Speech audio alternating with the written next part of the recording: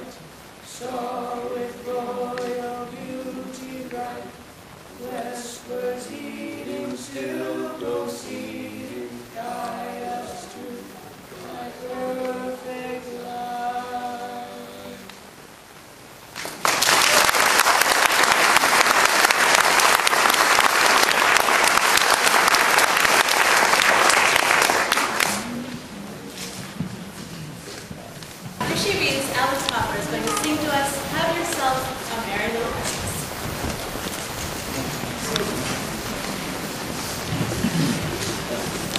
I would like to share with you a Christmas tale, a tale as old as time. Twas the night before Christmas.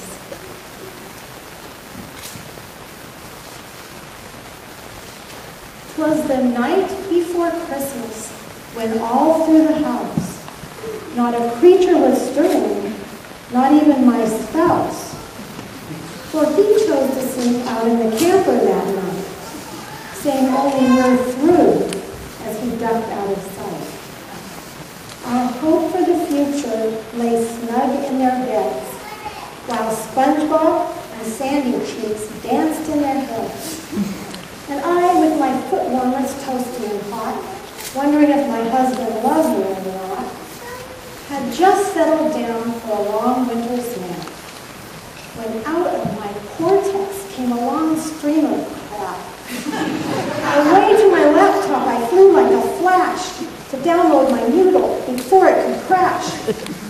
When out on the lawn, there arose such a clatter. I sprang from my MacBook to see what was the matter. Away to the window, I flew like a flash, thinking maybe the ravens had raided the trash. The moon on the crest of the new fallen snow made me want to call Kenny to bring us back home. when what to my wondering eyes should appear but a shiny, bald head. Could it be he was here? Then I heard, don't give up. You must do it until. I knew in a moment it was, yes, Dr. Phil! More rapid than eagles, his coursers they came, and he whistled and shouted and called them by name. Now posers, now cheaters, now addicts and whiners, you catfish, wife beaters, can't match my one-liners. To a dual diagnosis, to a room down the hall, we provide sober escorts. Now dash away all. As leaves that before the wild hurricane fly, when they meet with an obstacle mount to the sky. So up to the housetop, his producers they flew, with cameras and cue cards, and Dr. Phil too. And then in a twinkling, I heard up above, don't ever give up on the one that you love. As I drew in my head I was turning around, down the chimney the doctor arrived with a bound. He was dressed in mabro from his head to his toes. The high-end Italian design of his clothes and the bundle of books he had flung on his back looked awful smart for this land of the, the lumberjack. His eyes, how they twinkled. His dimples, how merry. This was better than Santa Claus times the tooth fairy. His droll, mustached mouth was drawn up like a bow, and his spit-eating grin was as white as the snow. A stack of blue note cards he held firm in his hand. I inquired, are you here with your new diet plan? Can you help me get rid of my little round belly that shakes when I laugh like a bowl full of jelly? He was robust and trim, a right jolly old elf, and I laughed when I heard him in spite of myself. With a wink of his eye and a twist of his head, he told me his reason for coming instead was to rescue our marriage, to help us relate. He asked, when was the last time you two went on a date? I stared at the tinsel hanging limp from the tree. Does it count if we watched the same show on TV? He said that we need to take time for each other, be lovers and friends, not just fathers and mothers, to start every day like it's a love letter, asking, what can I do to make your life better? Then he smiled and added, to be a good spouse, you must look at yourself, clean your own house. If he has a flaw, find a way to forgive it. Ask yourself how much fun you are to live with. I stood there dumbstruck as he went straight to work, put his books in our stockings, then turned with a jerk, and laying his finger aside of his nose, then giving a nod up the chimney, he rose. I couldn't believe what I'd seen and I'd heard. I thought long and hard and gave weight to each word. It was then I decided to do what I can. He was speaking the truth. Now I had a plan. I'd go out to the camper and knock on the door and say, honey, what the heck are we fighting for? I straightened my hair and took off down the hall. When in walked my husband, so handsome and tall. He said he was ready to eat humble pie because he just had a visit from this bald-headed guy. we looked at each other and let it all go. A bank of frustrations melted like snow. We embraced as we watched Dr. Phil fly away with his team and his beautiful bride in his sleigh. But we heard him exclaim from the great northern lights, do you want to be happy and married or right?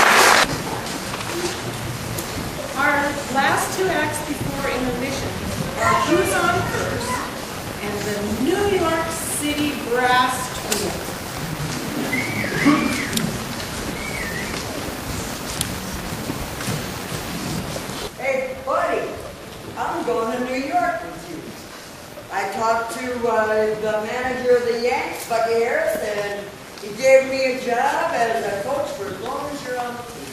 So you're gonna manage the team? Yep, So you must know all the players. I certainly do. Well, you know, I've never met the guys. So if you'll tell me their names, I'll know who's on our team. Well, I'll tell you their names, but it seems to me that ball players nowadays have very peculiar names. You mean funny names? No, nicknames, pet names, You're like uh, Dizzy King, Oh, and his brother Daffy. Daffy And don't forget their French cousin, French, Gouvet. King. Well, let's see. We have on the bag who's on first, what's on second, I don't know who's on third. That's what I want to find out. I say who's on first, what's on second, I don't know who's on third. Look, you're the manager. Yes. You're gonna be the coach too. Yeah.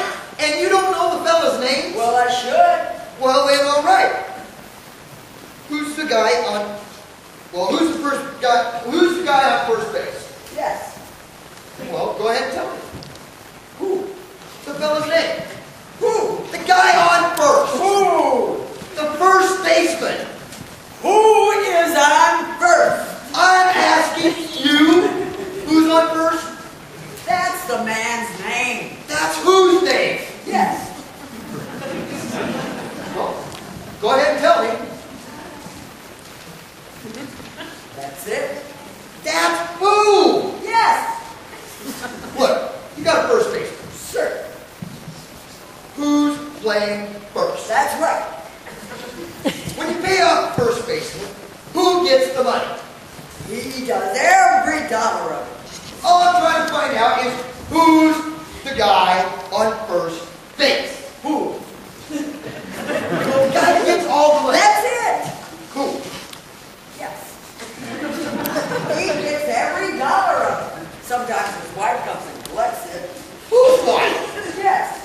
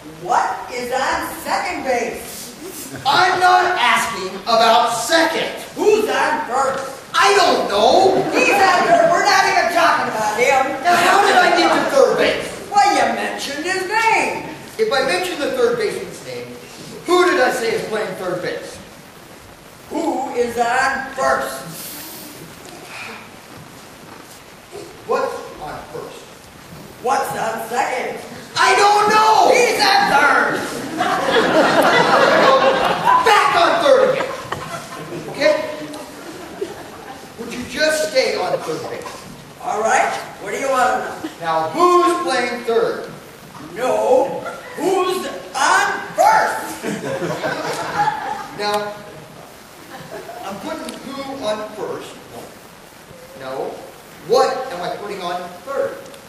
No. What is on second? I don't know. Third base. Look, you got an outfield. Sure. Left fielder's name. What? I just thought I'd ask. I just gotta tell you. Go ahead and tell me. Who's playing left field? Who's playing first? I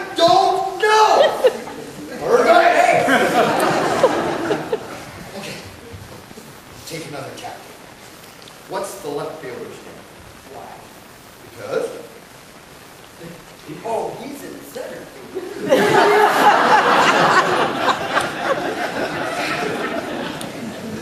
look, you got a picture. Sure. Pitcher's name. Come on. You don't want to tell me the name? I'm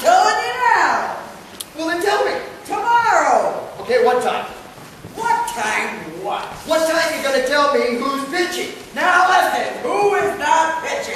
I'll break your heart if you say who's on first. What's the pitcher's name? What's on second? I'm not asking who's on second. Who's on first? I don't know. Base. Yeah. You got a catcher? Sure. Catcher's name. Today. Today. And tomorrow's pitching. Now you've got it. Sounds like I only got a couple of days of the week on the team. Okay. Got a catcher? Sir. You know, I'm a catcher too. I heard that, yeah. So I get up to do some fancy catching. Tomorrow's pitching. And a heavy hitter comes up. Now he bunts the ball. Me, being a good catcher, I'm going to pick up the ball and I'm going to throw it out at first. Now, who has it? That's right.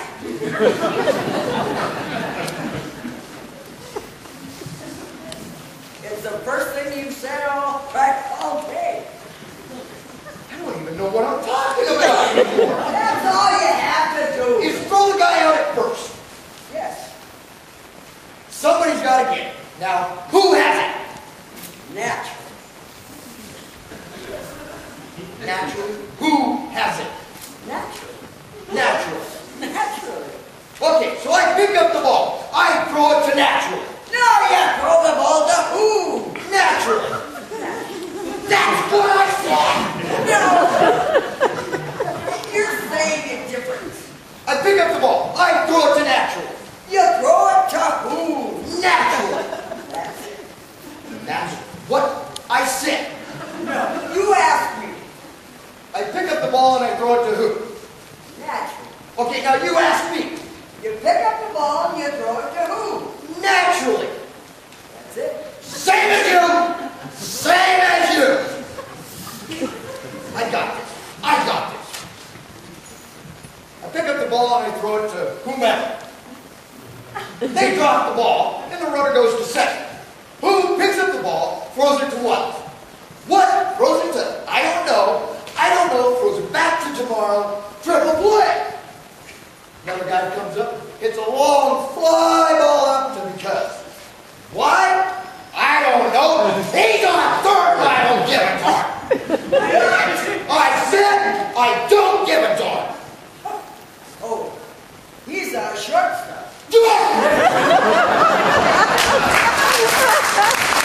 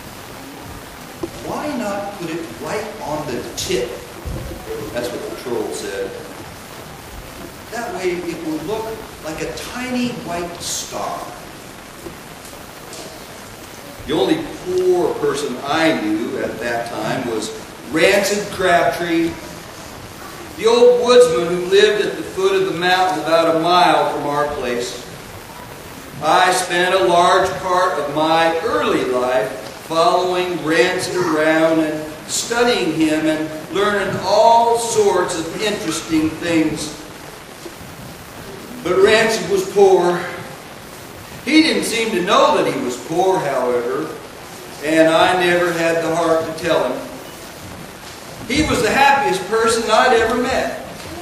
Why, if he'd have known he was poor, of course, then he'd have been sad and miserable all the time. As it was, Rancid was able to live out his whole life in blissful ignorance of the fact that he was poor. A few days before Christmas one year, I went over to Rancid's cabin to see what he was up to. He was carrying an armload of firewood into the cabin and invited me in. I looked around expecting to see a Christmas bush with some presents under it. There was nothing but a rumpled bed, the old barrel stove, a table, and some broken chairs, a few rusty traps, a shotgun, and some rifles that were hanging on a peg or two in the wall. There were some other odds and ends. I looked at him and I asked, Where's your Christmas bush? If I was to have anything, I'd have a Christmas tree. But I don't see why I got to bring a tray into the house when all I's got to do is look out the window and see all them trees up on. For what you put your presents under? I was persistent. Rancid stared at me for a long moment, and then he snorted. I used to get all kinds of Christmas presents. They'd be piled up near to the ceiling, and I'd be a kicking and a stumbling over them all the time. So finally, I'd just up and I'd tell folks to, oh shoot, you keep giving me all them presents. I don't do that no more, you know. And I ain't missed them one bit. Man just outgrows presents, I guess. I'd hoped I never outgrow presents. And while I was thinking about that, a great wave of sorrow crashed down upon me and poured right down into the insides of my feet. And it filled up my toes, and then it came a welling back up all the way into my throat. What's wrong with you, boy? Oh, you're stove's smoking. I was choked. I better get some fresh air, and I bolted out the door. Rancid came out on the porch and watched me as I gasped for air, holding on to my lungs. That was when a great idea occurred to me. Say, Rancid, I said, why don't you come and have Christmas dinner with us at our house? No, I couldn't do that. You know your old granny and me, we ain't getting along much. Why, it was her that told me to invite you. I lied. She said to me, now you go give Rancid Crabtree an invite to Christmas dinner. Well, dadgum my hide! You tell her I'd be happy as a hog hanging to share your Christmas victuals with y'all.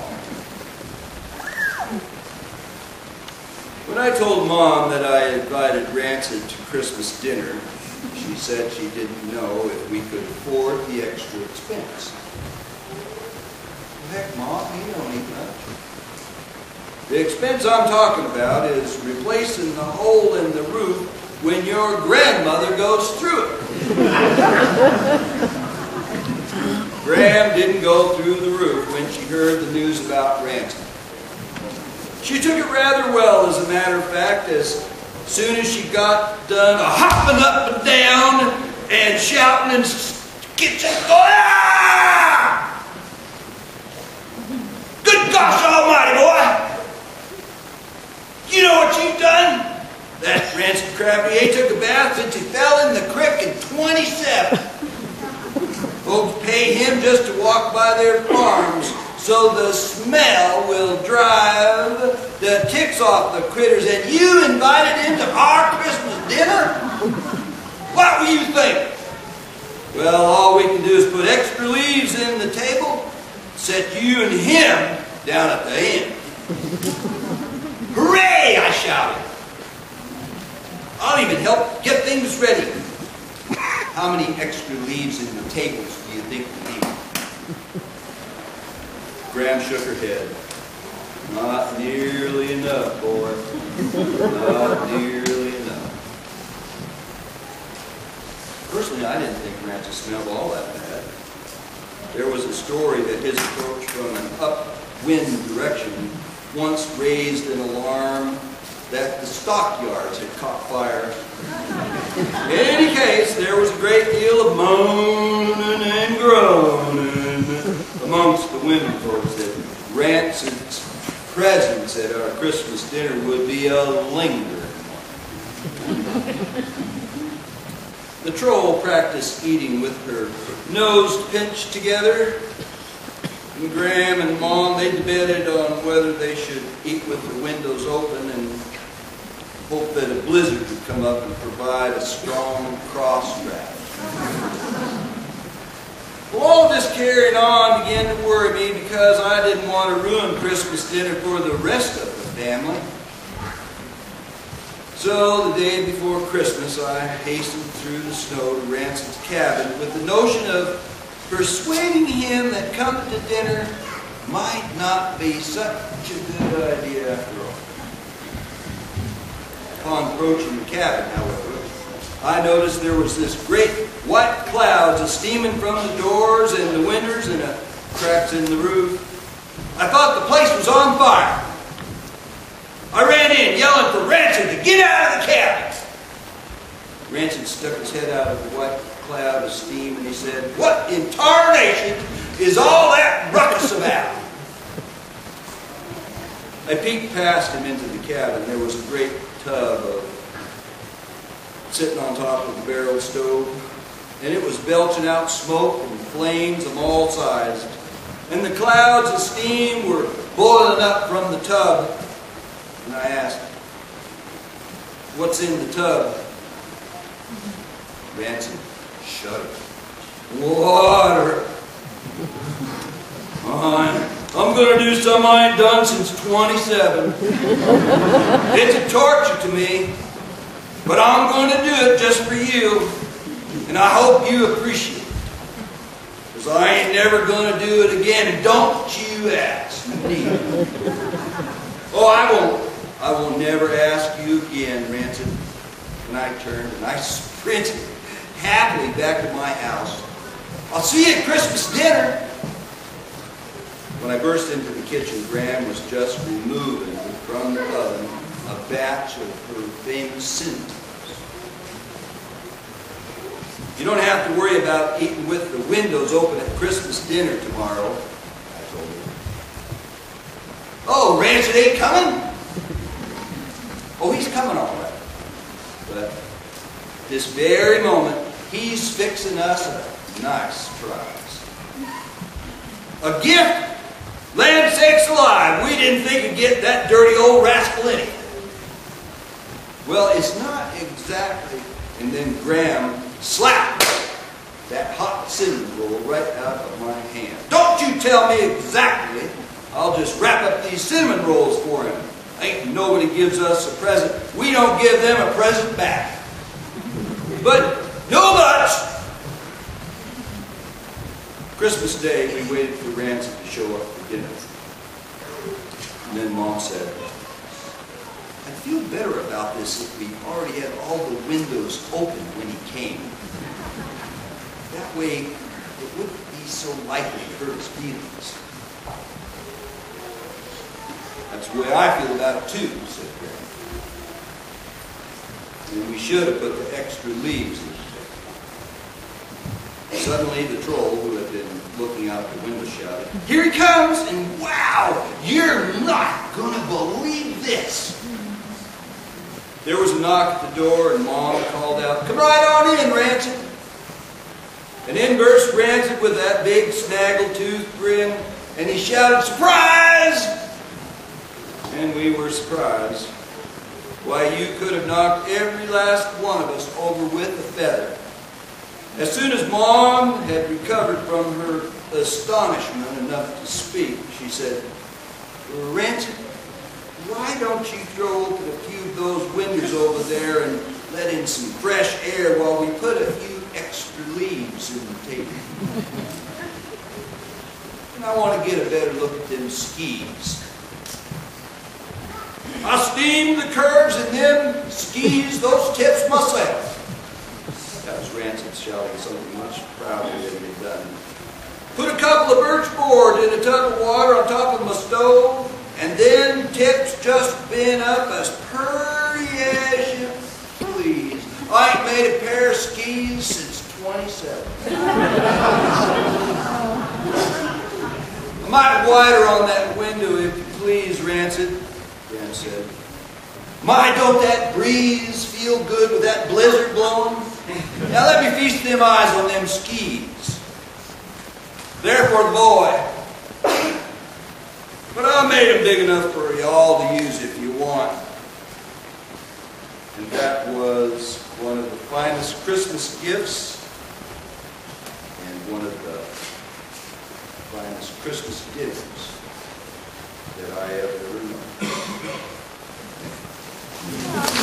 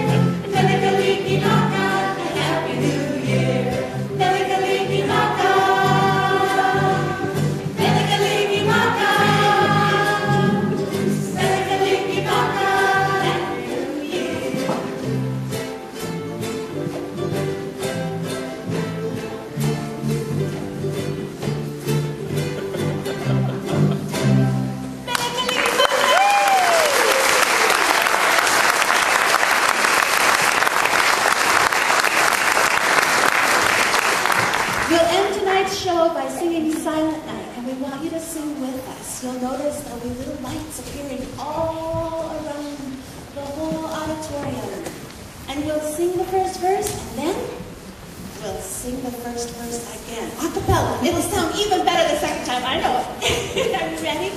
Let's start with the ukuleles helping us out.